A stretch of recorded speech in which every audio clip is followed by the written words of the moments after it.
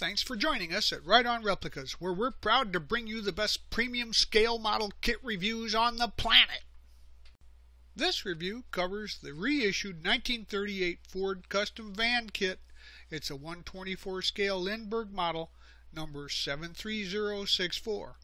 It's a skill level 3 kit requiring glue and paint, and it has about 85 parts molded in white, chrome, and clear. The tires are vinyl and it also includes water slide decals.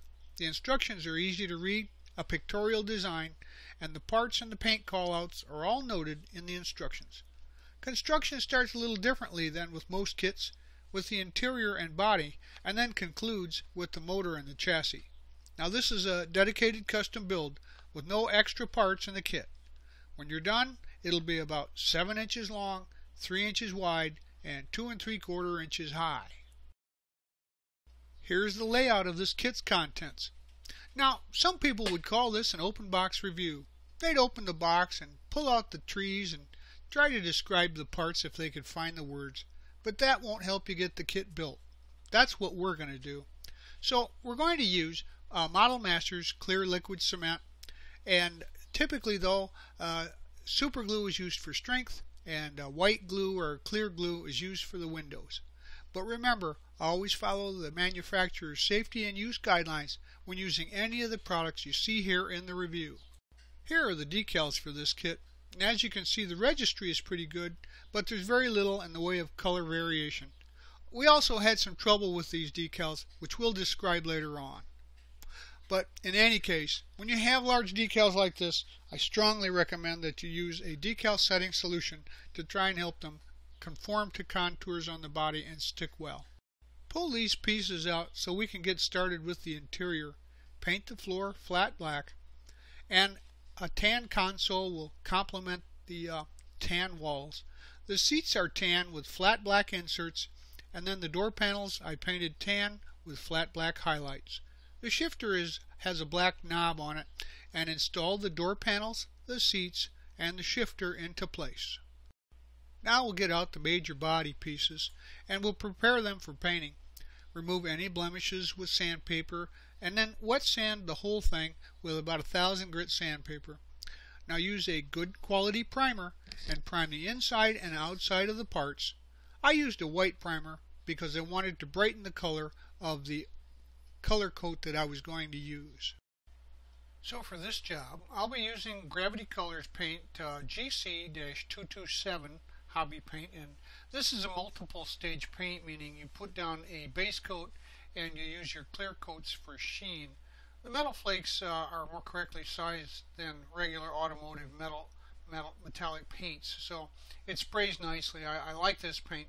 So uh, whatever paint you're using, go ahead uh, after you've had a chance to clean it up from the primer and give it your color coats and then use some, uh, once again, uh, some fine sandpaper to finish it out and then we'll top coat it later on. Well, as you noticed, everything was going along just fine up to this point. We're going to put the decals on now, and this particular kit has a couple of very large decals that go on the nose and the hood panels. And as you can see, they did not fit well. I'm not quite sure how they're designed, but they don't work like they should according to the box art. Uh, my recommendation is that you either forego these particular decals or find some in your stash uh, or from some other aftermarket product to use here. Um, these don't seem to fit well, and even if they uh, were properly sized, I think they'd be difficult to uh, get to conform to those curves. Nonetheless, uh, if you can get them on, on and use them, hey, kudos to you. Uh, but I went ahead and uh, made a change uh, with this front decal to try and emulate the box art. So since I could not get these uh, decals to lay down properly, I just cut out a template and then uh, I painted uh, the drip effect onto the hood and the fender panels uh, by masking the rest of the, uh, the vehicle and using a template mask made of tape to put down something that looks similar to the original decals. Once that's done and they've cured overnight, uh, including the door panel decals, go ahead and clear coat your model to bring out that shine. We'll grab some of these uh, parts uh, out of the kit now, and the uh, back and the side panels um, are installed into the interior, and they're colored uh, a tan color to match.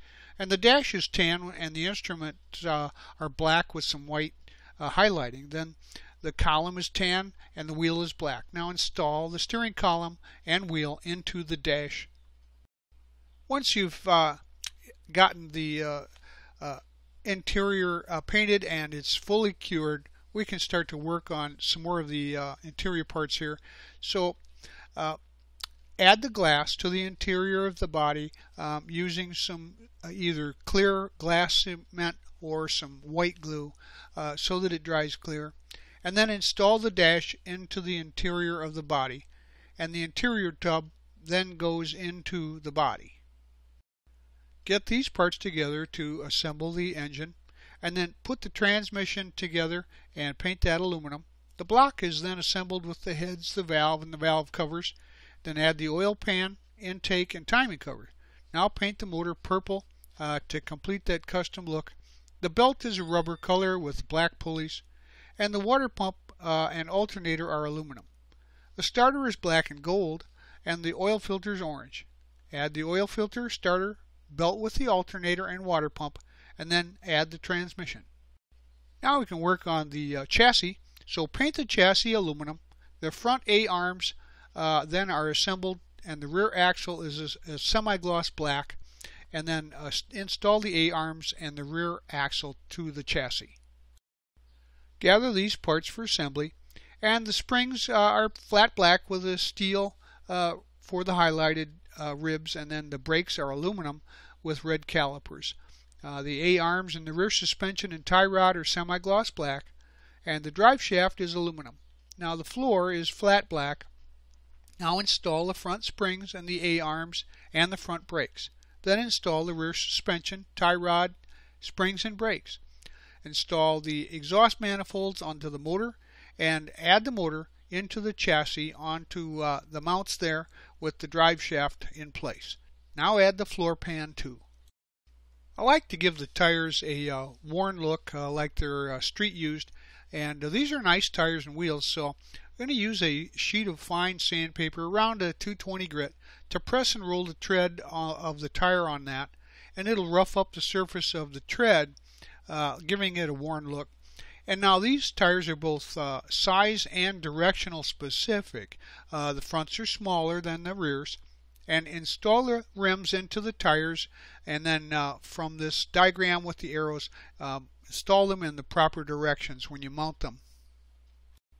Now insert a tire uh, onto each axle, a pin on the on the lar the larger ones go on the rear and the smaller ones go on the front and uh, once again, note the direction of travel as these are uh, directional tires. So make sure that they uh, have the point of the tread uh, contacting the pavement first as you're going forward. That's your uh, cue for directional orientation. Uh, the kit supplies a long piece of uh, plastic strip here that goes from side to side between the sides on the body to support the body's sides and keep them separated properly. So um, install that and then glue the body to the fenders.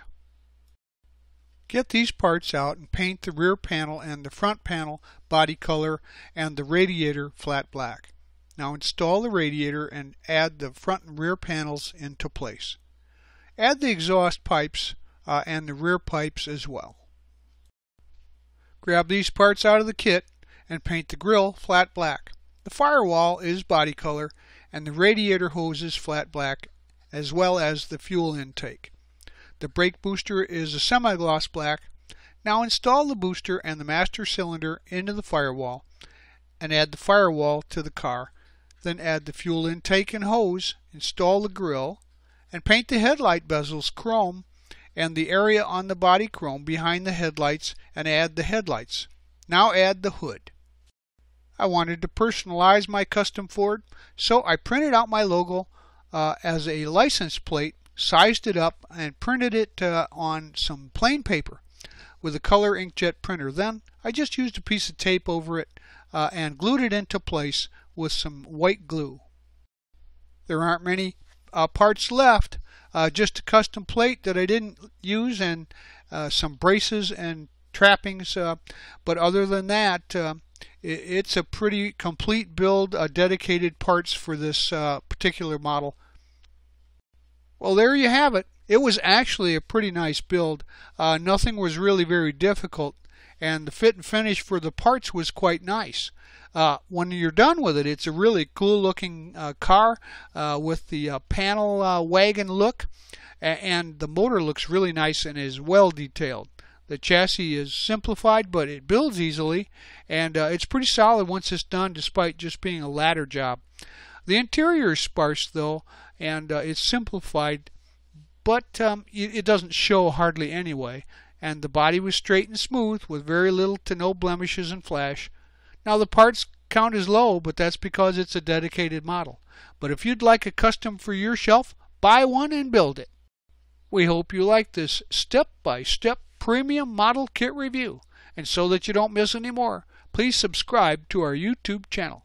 But as always, you can find us on Facebook and at our website, www.rightonreplicas.com. Thanks.